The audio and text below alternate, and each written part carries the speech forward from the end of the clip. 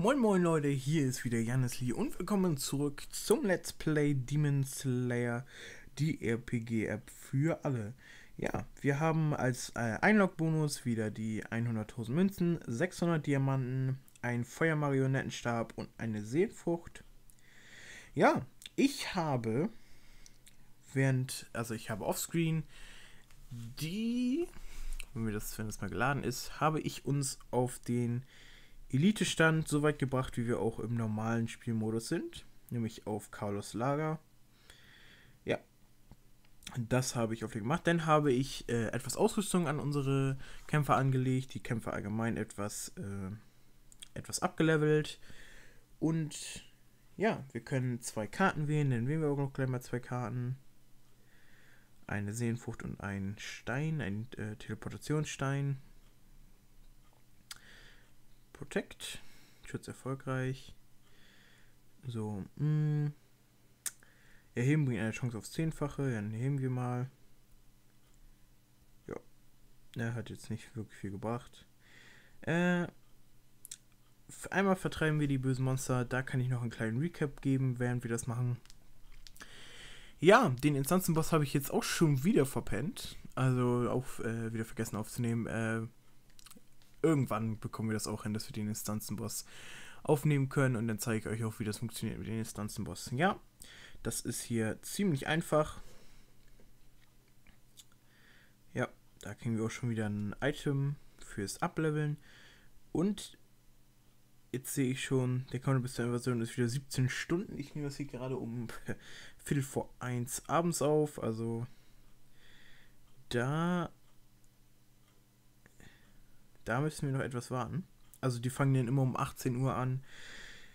Ich muss dann mal gucken, dass wir das hinbekommen. So, 5 Karten Showdown. Kampf starten.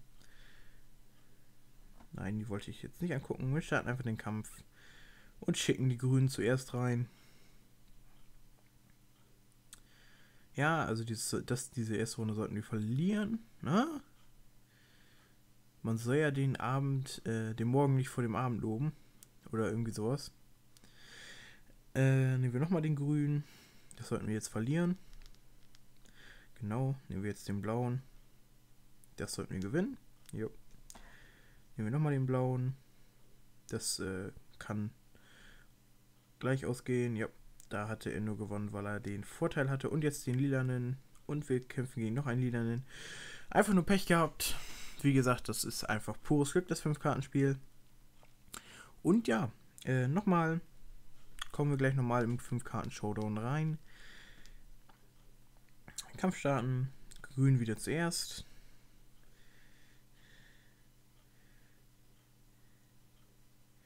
Yep, okay, das haben wir verloren. Ist auch ist okay. So, das haben wir jetzt gewonnen. Blau gegen Blau, das kann wieder. Jo, habe ich gewonnen. Lila den gleich rein. Ja, sehr gut. Das ist ein Sieg. Und wir haben einen Teleportationsstein und natürlich ein Stück für eine 5-Sterne-Karte wieder bekommen. Einmal können wir noch das 5, den 5-Karten-Showdown machen und dann geht's weiter mit den Aktionswelten. Ja, äh, äh, das Spiel im Allgemeinen äh, ist, wie gesagt, äh, ich, ich werde äh, jede, jede Sekunde mehr davon beeindruckt, was man hier alles machen kann. Und ja, äh, wenn das hier hochgeladen ist, habe ich auch schon ein Video hochgeladen, das heißt die VIP-Diskussion und da diskutiere ich über den VIP-Status in diesem Spiel und ob man sich den kaufen sollte oder auch nicht.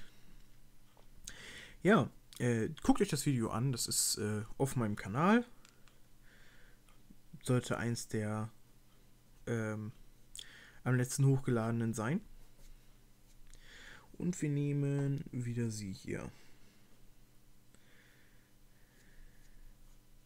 So, da haben wir das auch schon, die drei kostenlosen Spiele. Jetzt können wir auch schon wieder die äh, Dämonen vertreiben. Ja, also in dem Video erkläre ich, äh, wie viel VLB kostet, ob sich das lohnt und ja, äh, ganz so den ganz äh, Basiswissen äh, und so, was man einfach über den VIP-Modus wissen muss. So, auch schon wieder gewonnen. Das ist auch jetzt nicht wirklich schwierig. So, ich habe meine Freundesliste mal die ganzen Freundschaftsanfragen angenommen, die hier so reinkommen. Den werde ich jetzt erstmal annehmen.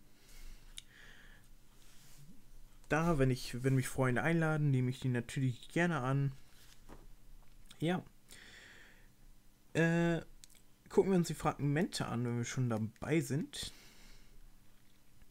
Ja, wir haben vier von der Göttin des Lebens, haben wir zum Beispiel vier von 80. Ja. Äh, ich habe zum Beispiel einen neuen Heldengeist geholt. Einen, beim Erkunden habe ich äh, einen neuen Heldengeist erfunden. Wir können nochmal erkunden und uns noch einen neuen Heldengeist suchen. Super, die oberste Hälfte von dem unseltensten. Nochmal die obere Hälfte. So. Da ist noch einer von der 4Kartenhälfte. Da ist eine untere Hälfte. Und was bekommen wir? Wir bekommen nochmal den, den ich schon habe. Aber egal. nochmal die obere Hälfte, hey. Nochmal die untere Hälfte. Wir machen das, bis wir mal einen neuen bekommen, den wir noch nicht haben. Und nicht immer den. Sondern. Ja, super. Nochmal den. Nee, sogar bei jemand anderen. Hödur. Hödur. Okay. Äh, ich will auf jeden Fall noch das äh, schaffen, den in der Mitte voll zu bekommen. nochmal einen, äh, äh, hier einen normalen. Ja, also die, die, wo man, äh, nochmal denselben, den, wo man zwei Teile für braucht, ist äh, der am einfachsten zu bekommen, denn dann kommt der vier Teile und dann die sechs Teile Karte.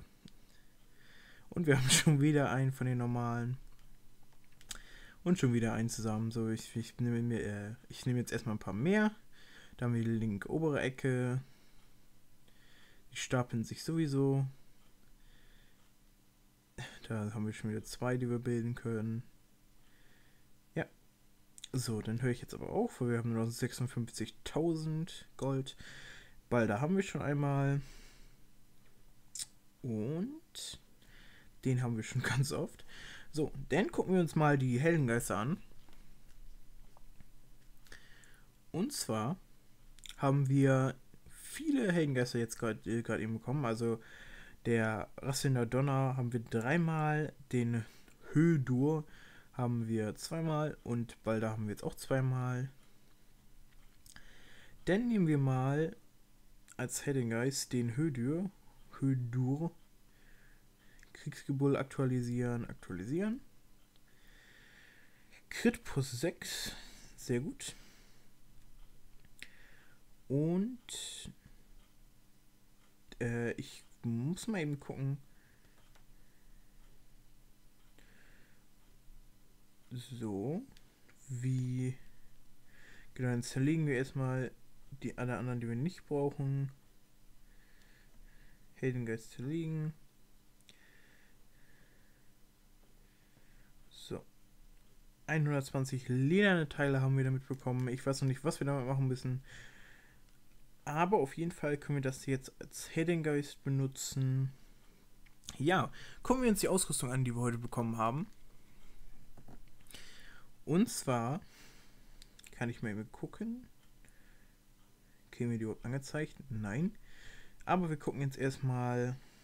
Ich weiß nämlich nicht. Ach, da habe ich schon eine Rüstung drauf. Denn gucken wir mal die Hexe an unsere äh, erste 5-Sterne-Karte, die wir bekommen haben, hat auch eine Rüstung an. Dann gucken wir mal unsere unsere äh, 4-Sterne-Karte, genau, die wir auf eine 5-Sterne-Karte hochmachen wollen. Gucken wir uns die mal an, was sie bekommen hat. Als Ausrüstung. Ich denke noch nichts. Ich glaube nicht, dass ich da schon was draufgepackt habe. Nein, habe ich nicht. So, Genau. Ah, nee, die haben wir aber schon verbraucht. Das heißt, wir haben kein, kein Brustpanzer. Haben wir was anderes für sie? Die Waldläufer-Armbrust wird auch schon benutzt. Das heißt, wir müssen die Schicksalsarmbrust benutzen. Und den Erdgeist-Anhänger, weil ich den einen Anhänger der Dämonen. Oh, und da ist Demon Slayer abgekackt. Ja, starten wir das mal eben neu. Ne? Ist ja nicht schlimm. Ja, das hat die App halt auch manchmal, aber äh, ne, da ist sie auch schon wieder durch. Ja, äh, das hat aber so gut wie jede App mal, dass man abstürzt. Äh, das liegt nicht an meinem Handy, sondern äh, weil ich habe äh, das neueste Android-Handy. Ja, also daran, daran kann es gar nicht liegen. Das liegt an der App. So, wir können auch schon wieder was. Wir können auch schon wieder vertreiben. Machen wir das. Und danach werden wir. Werden wir nämlich die unsere vier Sterne Dame wieder etwas hochleveln mit der Seelenfrucht, die wir gerade eben bekommen haben. Ja, da freue ich mich schon drauf. Ähm, und dann werden wir dann natürlich versuchen, äh, gucken wir erstmal, wie viel EXP sie dadurch bekommt. Und dann versuchen wir sie natürlich zu entwickeln. So, wir nehmen dich und nehmen die ganzen Seelenfrüchte und können wir auch ein paar. Ah ne, so viel Geld habe ich gar nicht. Ja, das ist aber teuer. Warum kostet es denn so viel? Äh,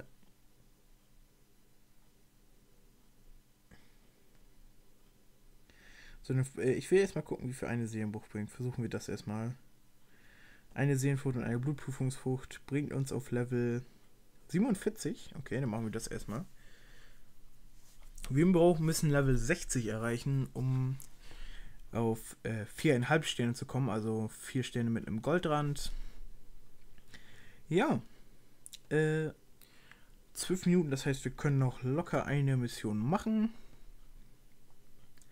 Dieser Part war jetzt erstmal so ein bisschen auch wieder Gerede, was in der letzten Zeit passiert ist und alles.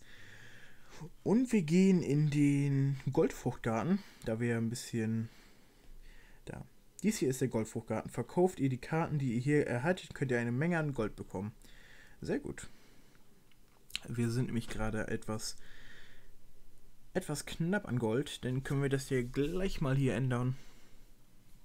Ja, Automatisches Fortschreiten, wie gesagt, ist wie immer aktiviert. Wie gesagt, das ist nicht der Elite, das ist der normale, den sollten wir eigentlich easy schaffen. Ja, das ist auch das erste Mal, dass wir den äh, Goldfrucht-Dungeon sehen. Freut mich. Habe ich sonst auch noch nicht gemacht. Also Goldfrüchte sind, äh, sehen genauso wie Sehenfrüchte aus, bloß dass die einen höheren Verkaufswert haben. Ganz einfach. Also die haben, die geben äh, normale EXP, wie so eine blaue Karte halt geben würde, aber geben halt mehr Geld beim Verkaufen. So. Ja, das äh, lief doch wie geschmiert, würde ich sagen.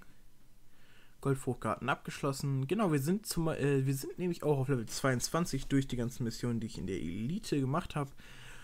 Bin ich schon auf 22, äh, auf Level 22 gekommen und wir machen das gleich nochmal. Und dann machen, und das ist das letzte, was wir in diesem Part machen. Im nächsten Part verkaufen wir das dann erstmal und äh, leveln unsere Bogenschütze nochmal ab und gucken, wie weit wir kommen und wie viel Geld denn eine einzelne Pflanze bringt. Ja, äh, bis jetzt kann ich mich wirklich nicht beschweren. Läuft alle spitze. Ja. Wie gesagt, in den normalen äh, Dungeons sollten wir wirklich keine Probleme haben. Und ja, der, der Elite Dungeon wird jetzt äh, schon schwer, ist schon schwieriger. Denn